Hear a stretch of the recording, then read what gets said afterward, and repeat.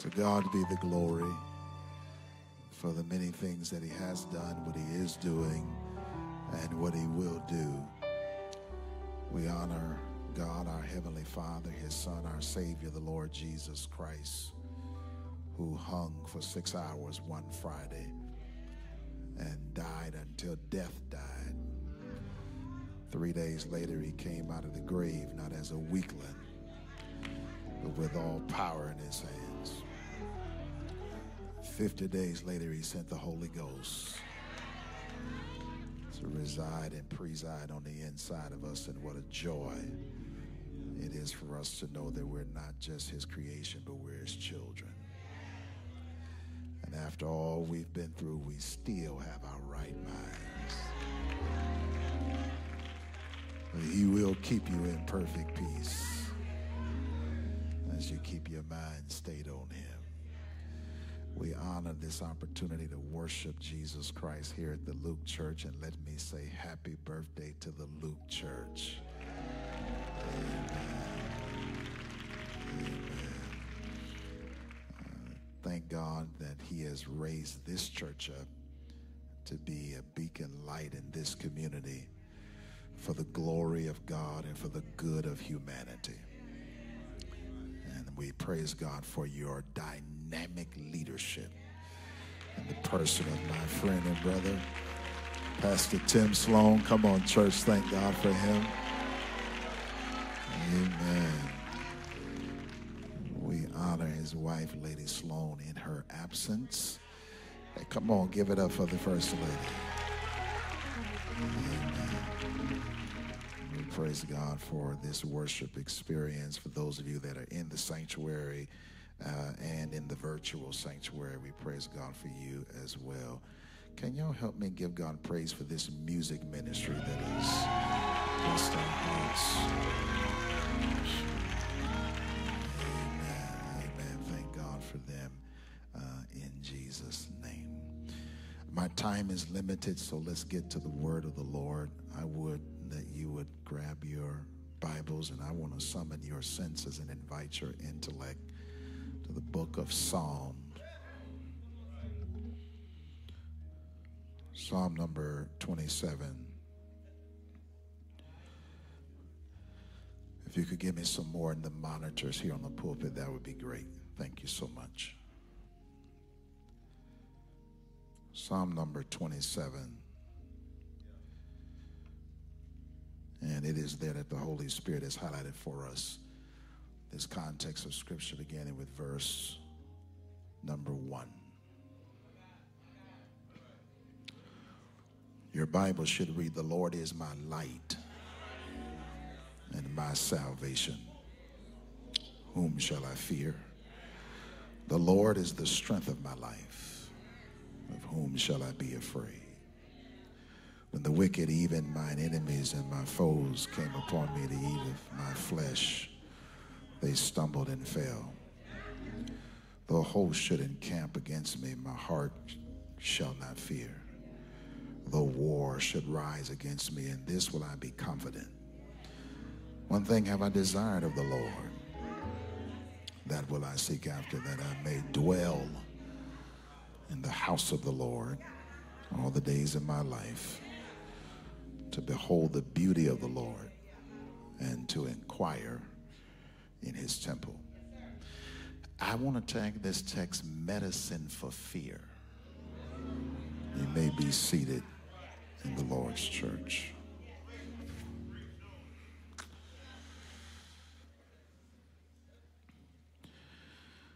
Dr. John Westfall wrote a book entitled Getting Past What You'll Never Get Over. And in the book, Dr. Westfall cited that fear is a response to a perceived threat. Whether the threat is real or imagined.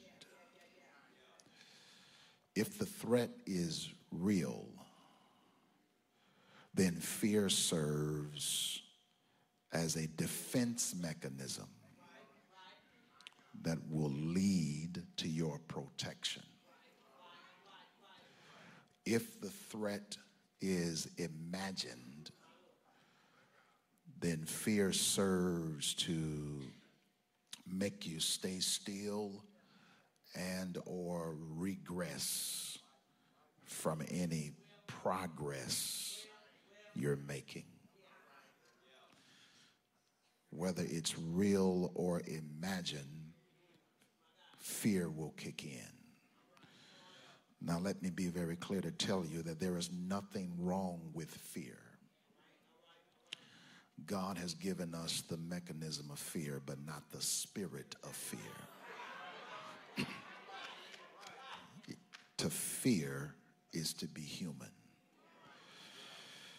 But we want real fear and not fear that rules us. So when fear, when, when the threat is imagined or real, fear will do one of two things it will serve to protect us, or it will serve to paralyze us. Thus, ladies and gentlemen, the problem is not the threat. The problem is how you perceive it.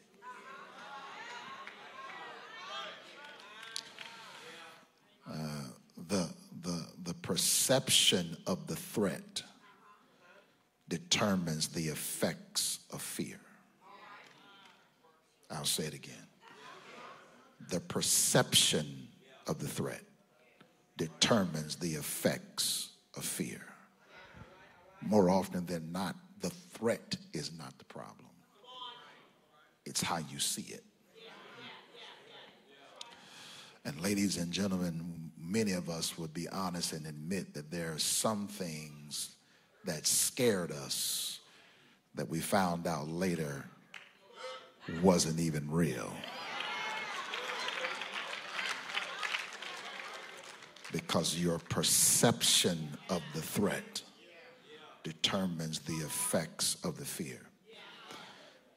And on the other hand, some of us found out that some things that was intended to scare us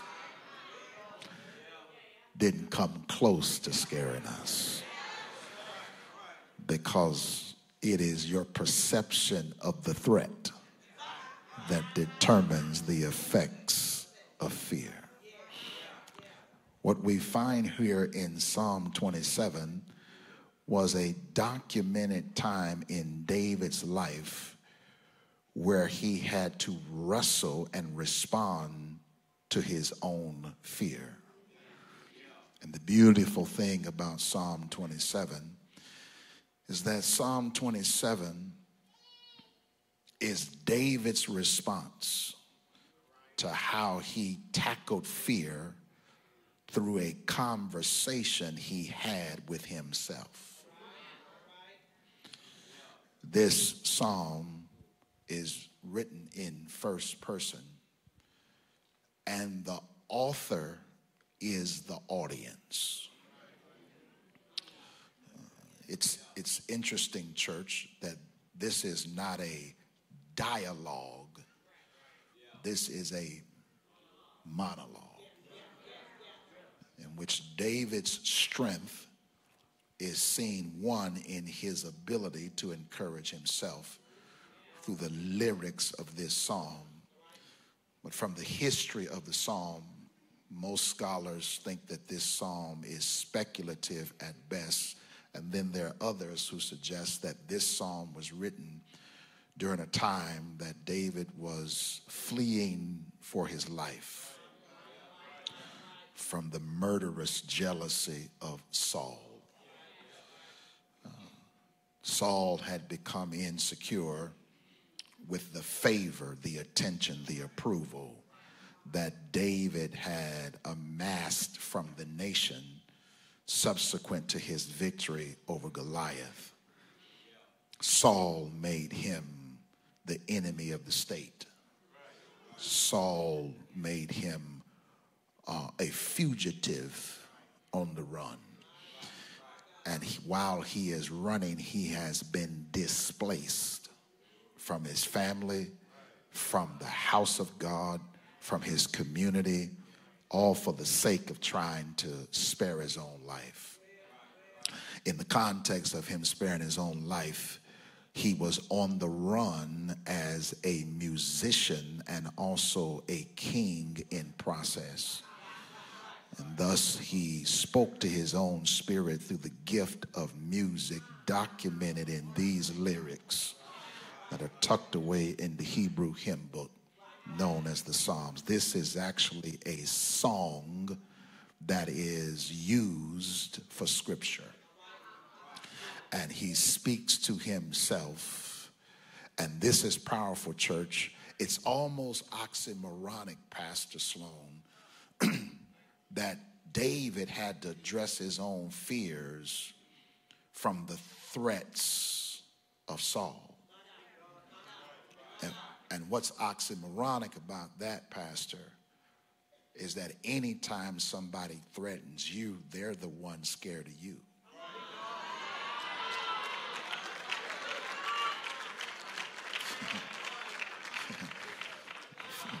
People threaten you because they're scared of you. It really ought to have been Saul addressing his fear, but it was really David who had to speak to his fears predominantly because the threat now had outnumbered David. Uh, when we read this text, he's dealing with the wicked enemies and foes. The threat is plural. And thus he has to speak to himself and watch his medicine for us. He gives us medicine for fear, church, because the thing that he teaches us in this text, this is the sermon in a sentence, it's really this your fears will succumb to your revelations of God. That's, that's, that's really the sermon in a sentence.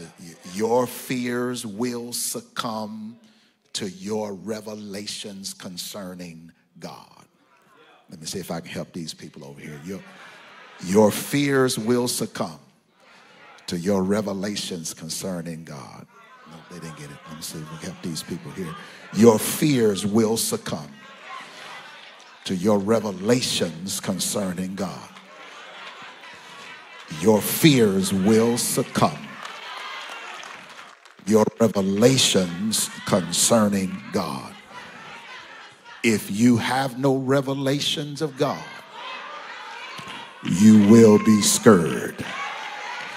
But if you got some kind of revelation about God, your fears will succumb to your revelations concerning God. Because God did not give you the spirit of fear, but of love, power, and a sound mind. And anytime you get scared, here is your medicine. Y'all ready? The Lord is my light.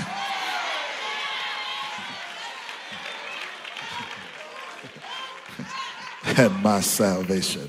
Whom shall I fear? The Lord is the strength of my life. I, am trying to suggest, church, when we look at this passage, uh, Pastor Sloan, uh, from an exegetical perspective, David's in introduction is a conclusion. He really should have started with verse 3 and 4 and ended with the Lord is my light. But he started the introduction with the conclusion. I've got some conclusions about God. As a result, I ain't scared of what's happening to me. I'll, I'll try it again over here. I've got some resolutions about God. Therefore, fear is put in its proper place. Can we walk through his resolutions about God? First thing this text is tailored to Teachers Church is about our concentration on God. He says three things about God. Y'all don't mind we, we walk through this passage, do you? He said the first thing, the first thing about God is God is my light. The second thing he says, he's my salvation. And the third thing he says, he's my strength. The Lord is the strength of my life. God is my light. Uh, when we see that word in scripture, it is referring to knowledge, information, intelligence, enlightenment. That God is the revelation of what I need to know about Him. That's why Jesus said, I am the light of the world. That Jesus is the revelation of God that all that we need to know about God from a divine perspective is tucked away in Jesus. And if he is light, he dispels darkness.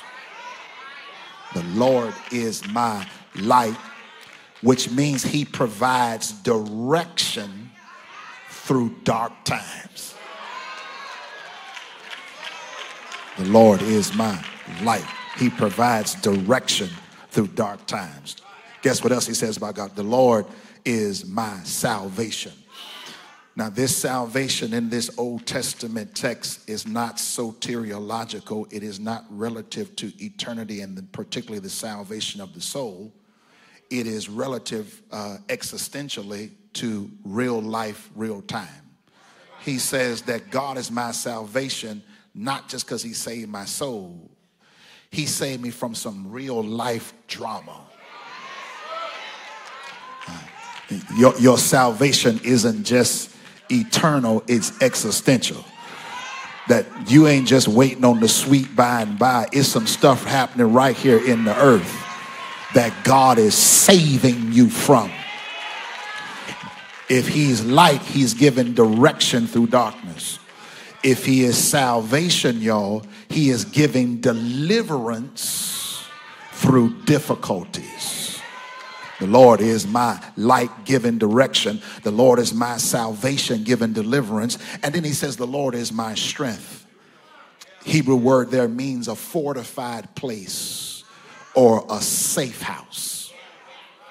The Lord is my strength, which means he's my defense in danger.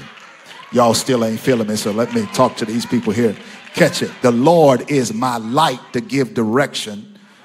He's my salvation to give deliverance. And He's my strength to give defense. The Lord is my direction, my deliverance, and my defense. The Lord is my direction through darkness, my, my deliverance through difficulties, and my defense through danger. The Lord is my direction, my deliverance, and my defense. When somebody is trying to attack me, he defends me. If I get in trouble, he delivers me. If I'm in darkness, he gives me direction. Whom shall I fear? you, you missed all that. Uh, the Lord is my direction, He's my defense, and He's my deliverance. Now, who am I scared of again? Y'all missed it. If I got the right revelation of God, it would reduce my fear. They don't know how to get happy. The bigger you make your fears, the smaller you make God. But the bigger you make God, the smaller you make your fears.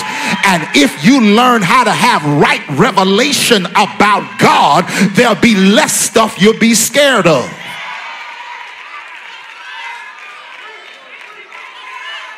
He says the reduction or removal of your fear is built on your revelations concerning God. That's why you can't afford to come to church and play in Sunday morning and miss Bible study.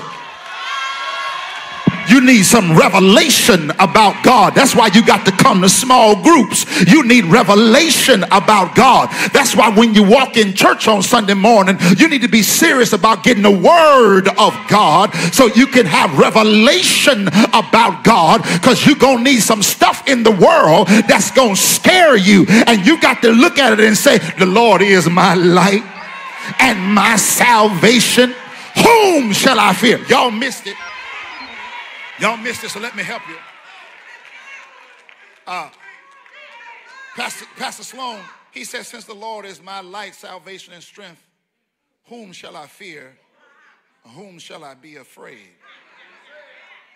Well, when we read that passage, we might think he's talking about somebody. And in some context, he probably is, given the historicity of the passage. But it's powerful, church, that if you make God bigger, it literally says fear is being reduced to an unanswerable interrogative.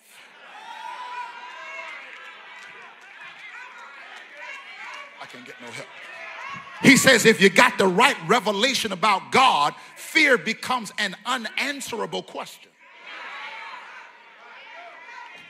Oh, I can't get no help here. He says if, if you got an answer to this question, whatever that is, is bigger than God. And since there's nothing that's bigger than God, this is an unanswerable question. So don't even try to scare me. I don't play like that. I got God on my side. Don't even try to scare me. I don't play like that. Goodness and mercy follow me all the days of my life. Don't play me. I'm not scared like that. God is on my side.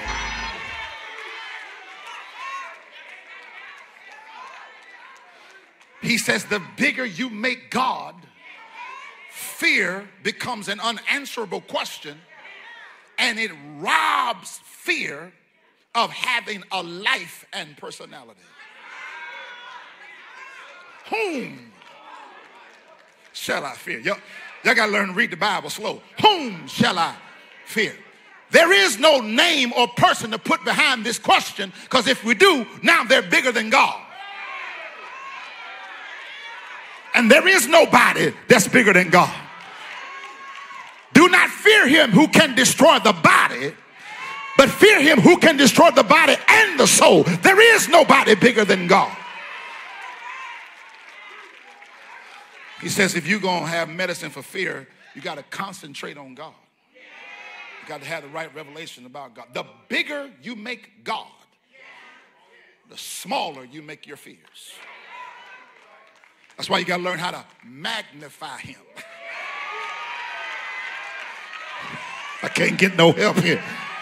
Some of y'all been in this church now for an hour and a half. You've been sitting there like you at a funeral. You haven't opened your mouth. You haven't lifted your hands. You haven't said, Lord, I thank you. Because it might be something you're scared of. But if you learn how to magnify him and make his name bigger, your fears will become smaller.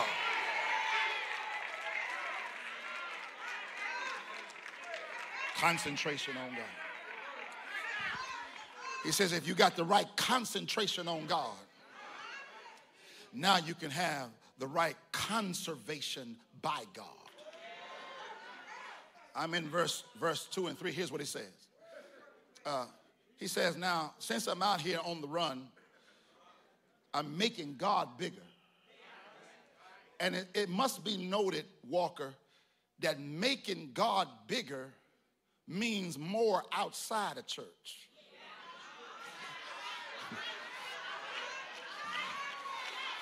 Than it does inside the church. Because uh, that's where the enemy's wickets and foes, Lord, I can't get no help here, are, are out there trying to come upon you to eat of your flesh. It is the picture, church, of a wild predator that pounces on its prey. He said, There are those who have uh, got together to consume me. Have y'all noticed the wicked enemies and foes? Have y'all noticed that they got together to do something bad, but they can't get together to do something good? It's always interesting to me how people unify over bad purposes. We got to beg you to unify over good purposes, but you willingly unify over bad purposes. As a matter of fact, the wicked enemies and foes have one common enemy David. But when we read this passage, we are subconsciously led to think that wicked enemies and foes are the same people. Y'all got a Bible? They are not the same people. They have three different identities with three different words. As a matter of fact, if you got a Bible and can read it, Here's how it really reads When the wicked and mine enemies and my foes. David doesn't claim the wicked. He says the enemies and the foes. They belong to me. I got something to do with them. The wicked are just generally bad. But the enemies and the foes, let me talk to you about them. Y'all ready? Now, if this box checks you, you just say amen. If it don't check you, I'll get to you in a minute. The wicked, ladies and gentlemen, are those who oppose divine goodness. They are bad for the thrill of being bad. You don't have to do anything to wicked people in order for them to do something against you. They get drunk off of seeing people hurt and struggling and in pain and in danger. They get excited about being evil because they are literally demonic. That's the wicked. They oppose divine goodness. David says, I don't have no claim to them. But my enemies, uh, I, my, my enemies, I can claim them because your enemies are people who oppose God's goodness in your life.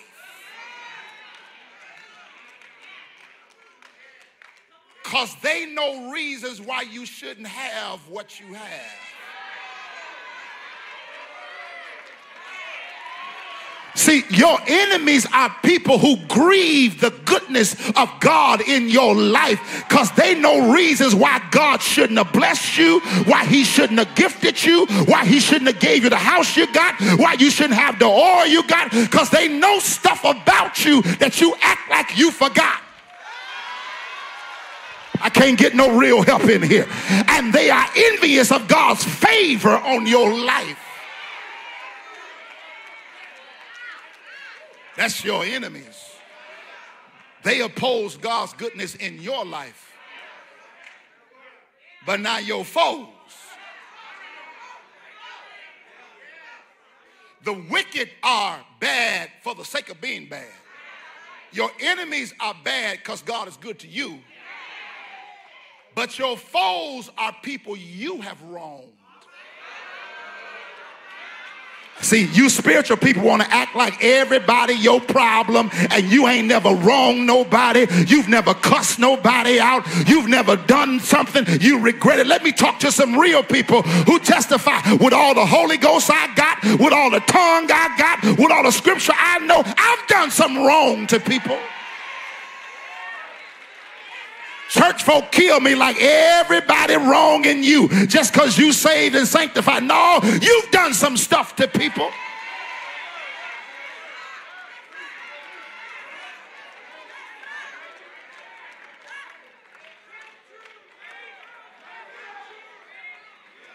The wicked don't like good.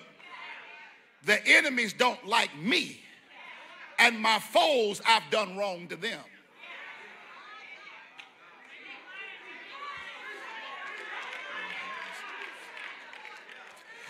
They sound synonymous, but they're three different groups. And David says they've teamed up on me because I'm in a season of my oil. Oh, I can't get no help here. They teamed up on me because the oil is on my life to be Israel's next king. And because the oil is on me, there is organized stuff against me. The funny part about it is, y'all, I didn't know the wicked, my enemies and foes, even knew each other. I thought y'all, I didn't know y'all even knew each other. It's interesting how the enemy, the, the adversary knows how to organize people at a time you on the come up.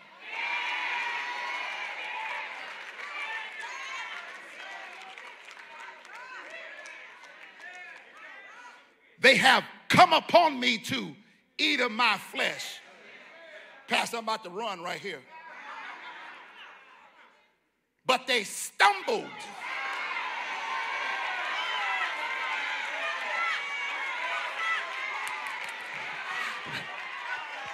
That ain't the shout, Walker. They didn't just stumble, they failed. Y'all don't know how to shout. Some people stumbled and got back up. But this text says when they fa- when they stumbled, they failed. They didn't get back up to recover their purpose. Somebody ought to thank God that people who really was against you had every reason to be against you, but they stumbled and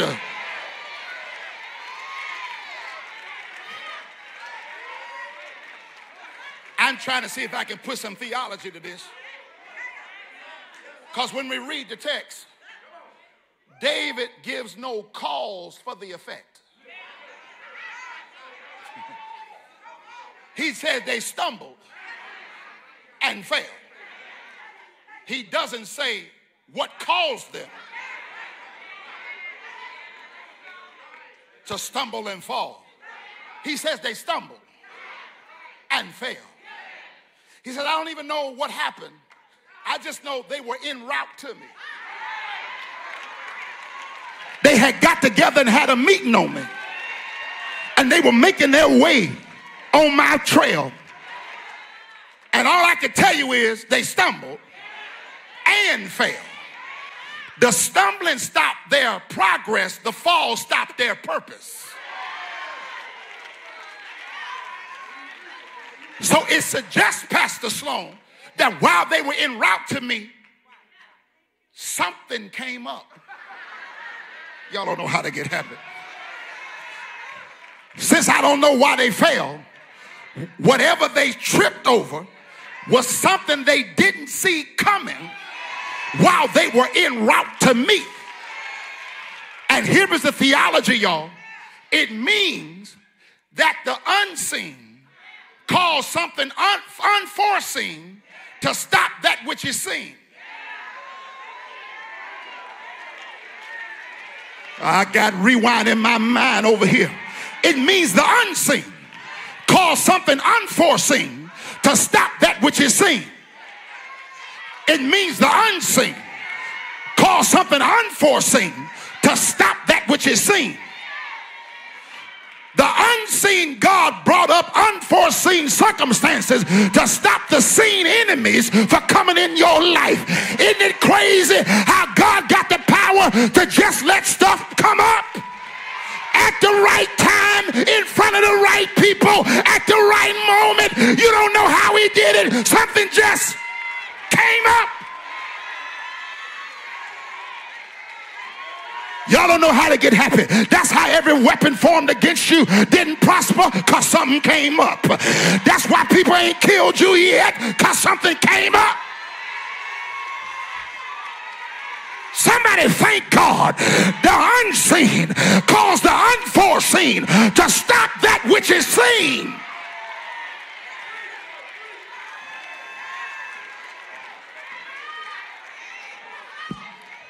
I quit.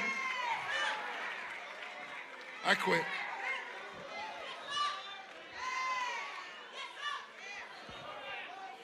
Thank y'all for letting me share this little Easter speech. We got to quit. We got another service. But just tell somebody, neighbor, I ain't scared now. Because God got a way to bring up some unforeseen circumstances to cause some stuff that was trying to take me out to stumble and fall.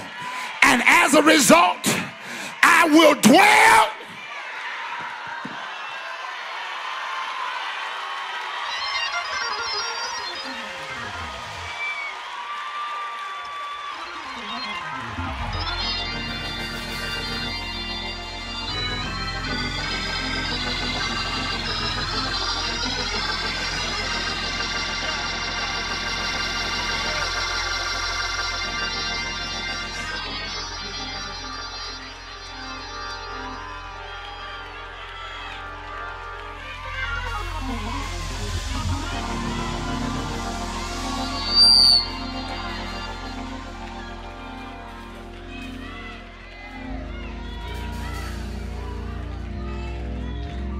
Come on, every soul standing in this place today.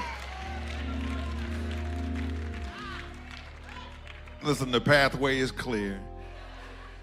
There's nothing holding you back from beginning a brand new journey. Today, if you're here and you don't know Jesus Christ and you're saying, I want to get it right, today the pathway has been made clear. God will handle the stuff you can't even see. Now the responsibility is yours. Won't you come right now and say, I just want to make sure that I got a solid relationship. And I promise you're not going to be by yourself. There's some today who are saying, I need a place where I can grow. I need a place where I can become a part of a community of faith. We want to walk with you. We want to be a part of that journey. We want to be able to see the great things unfold in your life. And together we'll do it.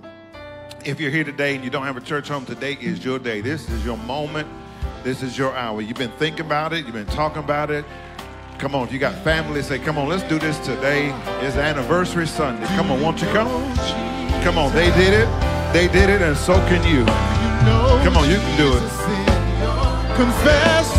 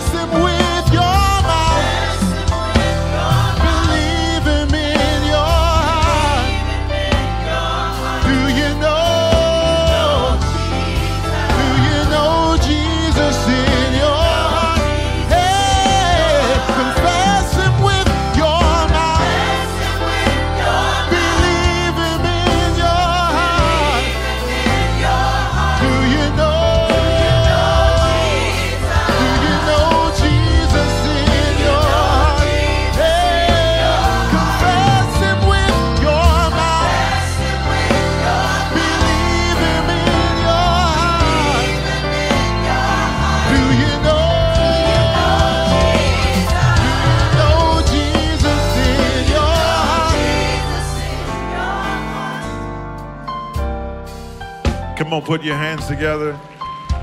Let's celebrate God in this place. Now, come on, help me celebrate today these who have come. Come on, let's get real happy and excited in here today. So grateful for the decision you made. We never take it lightly.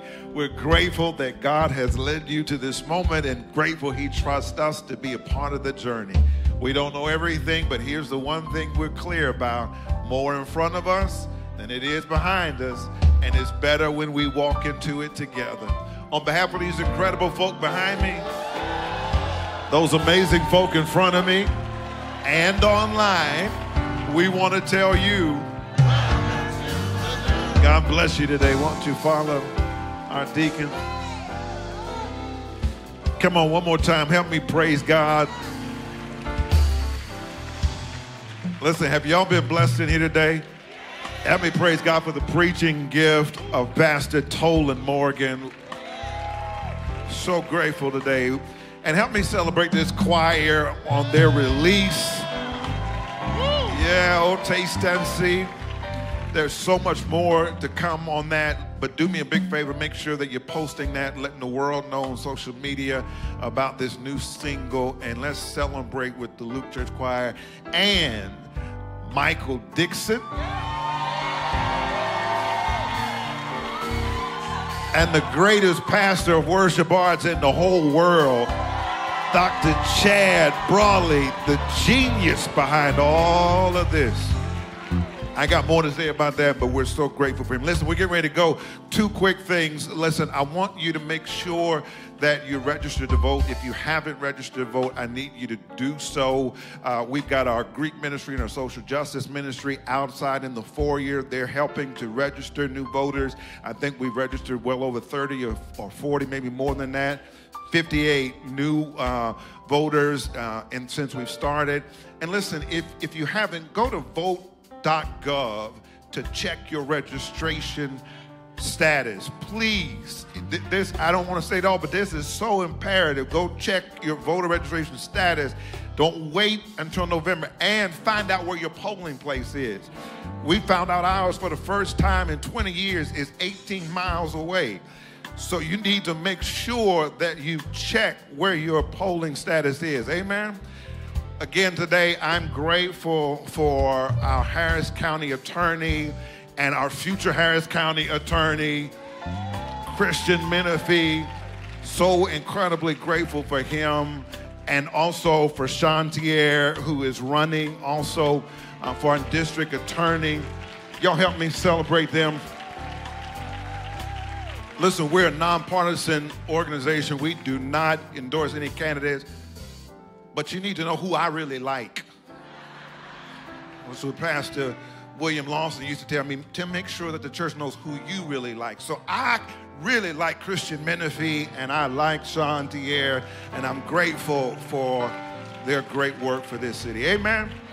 Don't forget, y'all got brunch before you get out of here today. I hope you'll stop and grab something before you leave. Now unto him who is able to keep you and I from falling and present us faultless before his presence of glory with exceeding great joy. The only wise God, our Savior, be glory and majesty, dominion and power, both now and forevermore. And all of God's people said together, Amen. God bless y'all. Happy anniversary. Be careful on your way out.